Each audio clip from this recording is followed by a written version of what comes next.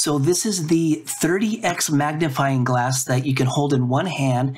It has 18 LEDs and apparently you can change the light from warm to cold. So this is the box. Let's open it up. Let's see what it looks like and see how it works. So guys, here it is. This is what it looks like. Now keep in mind that you need three AAA batteries that do not come with it. So make sure you get those.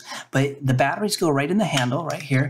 So I'm using rechargeables, but anyways, you put in three AAAs there. Go ahead and close the lid like that. And then you have a button to turn it on, which is right here. So here it has a cool white light. Then you can turn it to a more warmer light. And then you can combine the two and it gives a different ambiance. But anyways, this has some weight to it. Like, I mean, the glass is glass, right? So it's going to have some weight to it.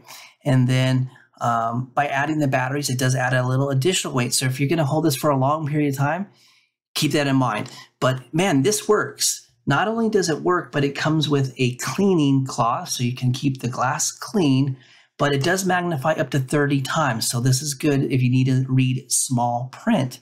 But anyways, I did want to show you what it looked like. This is pretty cool. So if you need a magnifying glass, maybe keep it in your desk or near your newspaper and uh, you'll be good to go.